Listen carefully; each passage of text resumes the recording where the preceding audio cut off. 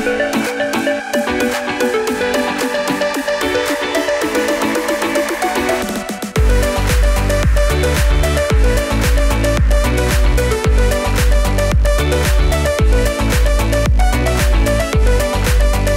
school has modern and innovative facilities that make any type of activities, game or workshop more attractive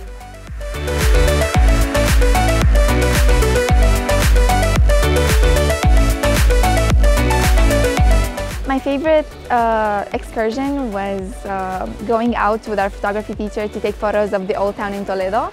My favorite part was uh, taking photos of the cathedral because it's absolutely beautiful.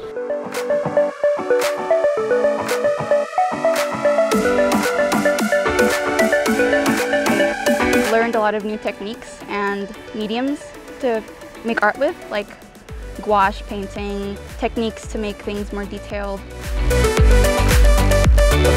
Inspiring activities such as kayaking and visiting the city, uh, I believe I have learned uh, to be more confident with myself.